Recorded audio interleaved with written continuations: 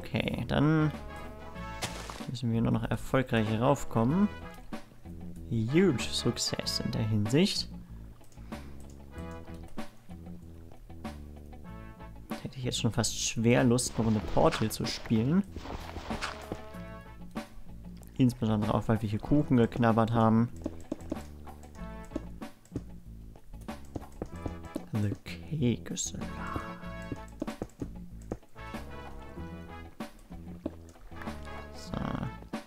Ich weiß ja nicht, 10 Blöcke. Könnte knapp werden, könnten auch 9 sein. Na, okay, oder halt auch 12. Unfair. So kurz vorm Ziel. Komm, dann machen wir das.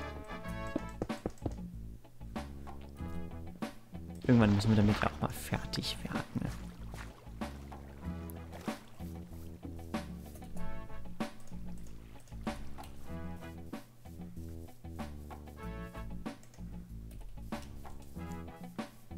Sieht schon schön aus. Jetzt muss nur noch ein paar Blümchen eingesammelt. Die machen sich da, glaube ich, machen sich da gut.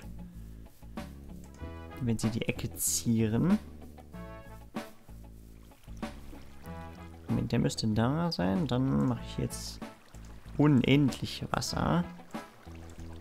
Was ich alles kann. Und er schuf unendliches Wasser. Ja, das ist, glaube ich, überall unendlich. Äh, abgesehen von in der Mitte. Sehr merkwürdig. Komisches Verhalten, was das Wasser manchmal zeigt. Ich habe doch gar nicht darum gebeten, dass du da so Unfug anstellst. So, dann müsste ja, wenn ich da oben einen Ring gebe, dann fehlt noch einer, dann haben wir da auch nur eine endliche Quelle.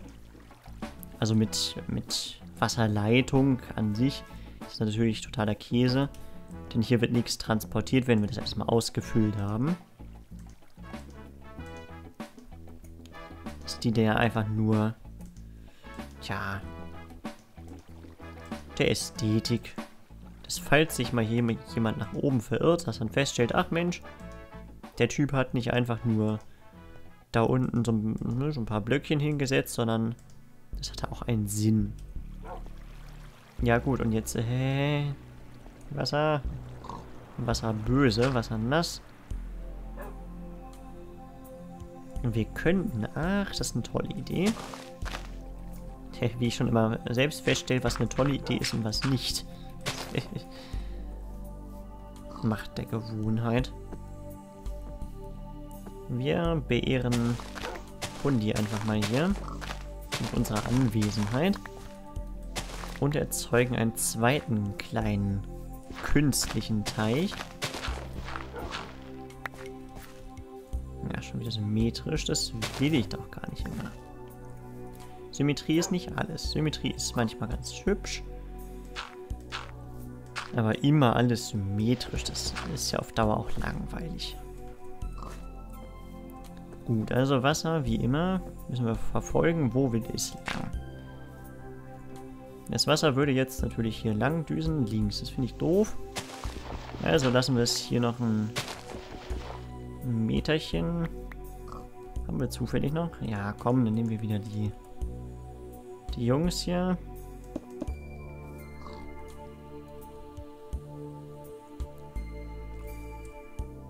Muss der hier, glaube ich, auch weg. Gut, Wasser, was macht das hier? Immer noch Unfug.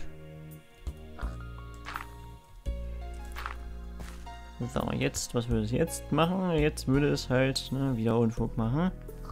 Immer macht es Unfug. Also brauchen wir dringend noch einen Klotz, irgendwas.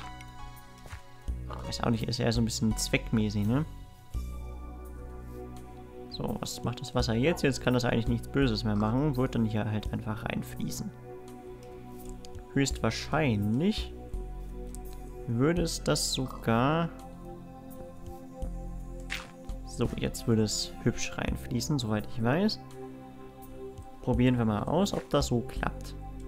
Ich mag es zwar sehr gerne, ein bisschen, bisschen mit Theorien rumzuspielen. Ne? Wie könnte es klappen, wie könnte es schön aussehen. Aber es dann letztendlich auszuprobieren, ist dann ja noch was ganz anderes.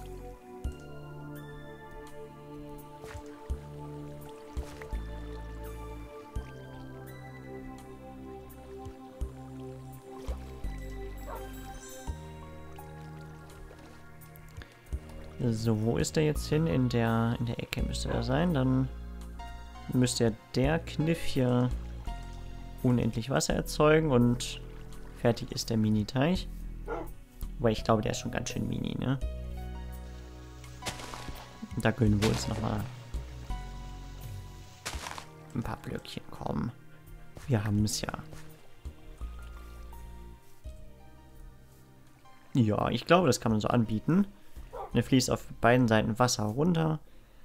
So als, man könnte sich ja vorstellen, dass die Leitung so, ja, diverse Kilometer in die Richtung ging und in die Richtung und das ist halt nur noch so ein Überbleibsel. Dann wäre natürlich cool gewesen, wenn wir, ähm, was ist das denn? Ach, das Victor Herbert Orchestra. Die 1909er Version Ven Venetian Love Song heißt das Ding. Und ich habe das Gefühl, das wurde wirklich 1909 aufgenommen. So wie das klingt. Eieiei. Ewigkeiten her. Aber auch ganz schön anzuhören, wie ich finde. Drei Blumen sind es noch, die wir haben. Hier sind eigentlich genug Rosen. Aber wir müssen auch dringend Orchideen von der anderen Seite mitbringen. Die dann hier irgendwo eingepflanzt werden. Blumenbeete können wir machen. Oh, wir können so viel machen. So, sehr schön. Moment, noch kurz ein malerisches Foto mit dem Wasser von Hundi. Einfach nur so spaßeshalber. Ach ja, schön. Ich glaube, das kann man so anbieten. Und ich glaube, ich werde mich dann langsam hier verdrücken. Es geht also im Anschluss direkt weiter mit der, mit der nächsten Aufnahme. Oder vielleicht auch mit der nächsten Folge, je nachdem, wie das gerade hinkommt. Auf jeden Fall erstmal an dieser Stelle ein herzliches Danke für eure Aufmerksamkeit. Und bis demnächst. Tschüss. Herzlich willkommen zurück zu Minecraft. Ist schon wieder Ewigkeiten her, dass ich das letzte Mal gezockt habe. Und aus diesem Grunde dachte ich mir, ach komm, es kann auch mal ein bisschen was Neues her. Wir hatten die Pixelchen schon seit, äh, ne, seit ich eine Riesenpause gemacht hatte. Also ich hatte ja quasi den, ich glaube den ganzen Winter über kein Minecraft gespielt. Und auch sonst eigentlich sehr wenig aufgenommen, höchstens ein bisschen Crisis und so weiter. Naja, auf jeden Fall sind die ganzen Blöckchen jetzt ein wenig feiner. Ich habe ein bisschen mit den Texturenpaketen rumgespielt. Und zwar ist das im Wesentlichen... Ach, wie hieß das denn nochmal? Das können wir uns ja gerade mal angucken. Moment. Ressourcenpakete. Ich habe das Fable of Glory. Da habe ich wieder die, ähm, die Rohstoffe, also die ganzen Erze habe ich daher. Dieses Norte-Texturenpaket, da ist das meiste raus. Und Sachen, die da nicht drin sind, wiederum übernimmt das Faithful. Und ich glaube, die Wassertextur ist vom Default. Dann hatte ich noch ein bisschen mit anderen Wasserdingern rumgespielt, aber das wollte nicht so, wollte nicht so hübsch aussehen und gefiel mir auch nicht so gut. Insofern habe ich es dann gelassen. Na gut. In der letzten Aufnahme haben wir uns ein wenig um dieses äh, Aquädukt da hinten gekümmert. Das würde ich in dieser Aufnahme gerne weiterführen und ich habe auch noch so ein paar andere Sachen vor die wir da noch in Angriff nehmen können und auch natürlich müssen. Weil ich mir sie ja schon vorgenommen habe und ja, dann, dann, kann ich nicht einfach sagen, nö, Mama, das gar nicht, nie und nimmer und überhaupt. Ihr habt es auch noch gut, ne? Wir hatten doch mal, soweit ich weiß, drei Hundis, oder? Dann wäre jetzt ja die glorreiche Frage, wo ist Hundi Nummer 3 hin? Oder Tür? Nee, den hatten wir wahrscheinlich auch nicht vor die Tür geschickt. Er war doch ganz artig. Da hinten ist eine Kuh. Das Gras sieht jetzt auch einen Ticken anders aus und wir müssen, müssen schnell schlummern gehen, weil sonst die bösen Männer kommen und uns hauen wollen. Dann wollen die uns nämlich in den Kopf hauen. Und so brutzeln die denn da erstmal draußen. Bevor ich rausgehe, erstmal was essen. So, kurz schauen, ob da jemand guckt. Und falls nicht, dann holen wir uns den kleinen. So. Kurz beobachten, ob da nicht doch noch irgendwo jemand Fieses ist. Aber hier sind nur ein paar Spinis. Die wollen uns ja gar nichts Böses. Ich finde, das Gras sieht schön aus. Na gut, man könnte jetzt sagen, ich habe es mir auch deswegen ausgesucht. Und auch das Getreide sieht ganz hübsch aus. Insofern können wir da auch wohl ein bisschen was mitnehmen. Tür hatte ich. Ah, die ist noch offen. Nein, nein, nein, nein, nein, wie böse. Okay, hier sind auch noch ein paar Pfeile, die müssen natürlich mit. Weil wir ja noch nicht so den Nachschub haben. Ich habe vor kurzem erst gelesen, dass äh, es wohl angedacht ist, dass Minecraft 1.8 erst... Äh, wir sind alle fertig, ne? Nur weil hier in der Mitte so ein dunklerer Streifen ist. Und dass die Minecraft 1.8 erst im Sommer rauskommen soll. Weil die da wohl nichts überstürzen wollen. Naja, und insofern wirft das auch noch ein bisschen äh, die Möglichkeit, dass wir mit Granit und diesem Diorit und diesem Andesit rumspielen können, ein wenig, äh, ein wenig zeitlich zurück. Sag mal, Emma. Meinst du, du bist hier? Achso, ha, Entschuldigung. Da kannst du ja gar nichts für. Dann können wir das auch missbrauchen. Und Emma einfach anlocken, wenn sie denn mag. Nein? Du hast aber auch lustige Augen. Sag mal, Emma. Na, da, da will sie. Guck mal. Komm. Ja, fein. Komm, komm, komm, komm, komm. Gehen wir gleich zu deiner Freundin da drüben. Die ja zum Glück nicht da reingehüpft ist, aber ihr, ihr könnt da wahrscheinlich auch gar nichts für. Ihr seid einfach so extrem neugierig. Schau. Ah, und auch Spinny sieht extrem lustig aus. Spinny, zeig mal kurz deine Augen. Spinny, Augen zeigen. Boah, ist das cool. Richtig finsterer. Wie viel hat sie da? Acht, ne?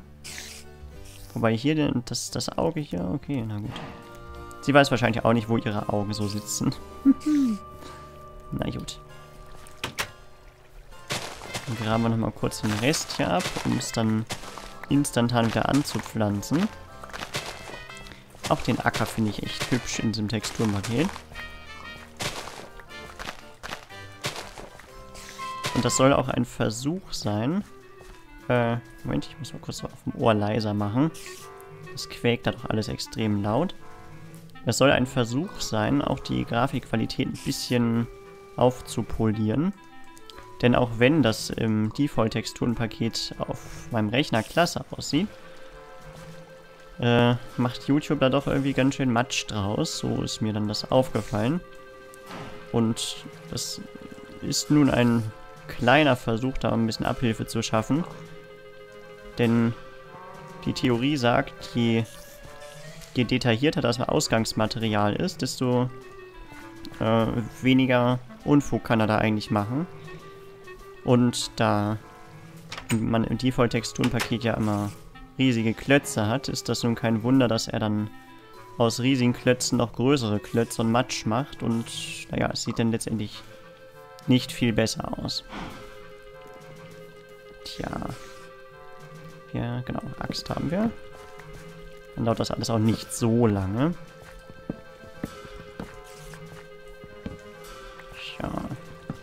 Auch für, für die Felder habe ich mir was ganz, ganz Famoses überlegt. Ich hätte nämlich extrem gerne ein Gewächshaus. Und zwar, könnten wir kurz hinlatschen, bevor wir uns dann den extrem wichtigen Dingen des Lebens widmen. Ja, ja. Nein, ich hatte mir überlegt, wenn wir hier hinten ja schon Felder haben, könnte man auch in Erwägung ziehen, hier ein Gewächshaus draus zu machen. Beispielsweise ein so ein ganzes Feld eingekesselt in so, so, so ein Glasbau-Dingsi. Was auch mit dem diesem Texturenpaket ein bisschen cooler aussieht, weil das so schwarze Ränder außen drum hat. Das fand ich sehr hübsch. Und dann könnte man auch in Erwägung ziehen, das mehr geschossig zu machen, also in die Tiefe zu graben. Aber dann müssen wir mal gucken, wie viel wir erstens brauchen, wie es zweitens gut aussieht und ob wir die Lust dazu haben. Und wenn nicht, dann, dann eben nicht. Ne? Ist ja nur, nur ein Versuch. Und das Gute an Minecraft ist ja, wenn uns was stört, dann bauen wir es halt einfach wieder ab.